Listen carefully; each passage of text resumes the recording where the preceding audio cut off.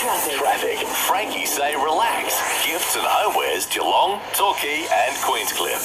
Following a serious crash, the Great Ocean Road is closed between Ellimatta Road and Forest Road. Emergency services directing traffic onto local roads. Visit Anglesea Road, Hendy Main Road, Cape Otway Road, the Princes Highway, Winchelsea, Deans Marsh Road and Deans Marsh Lorne Road to give yourself plenty of extra time before the detour.